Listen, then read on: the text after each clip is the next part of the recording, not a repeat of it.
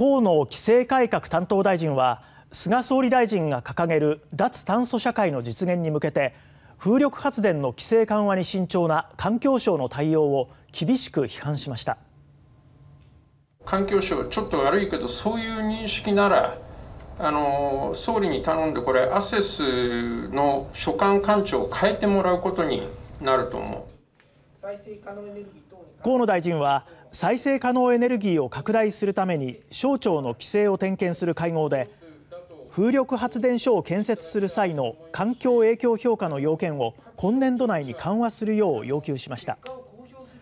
環境省が地元の合意が不可欠などと慎重な姿勢を示したことに対し河野大臣は菅内閣で言い訳は通用しないと述べ迅速な対応を求めました。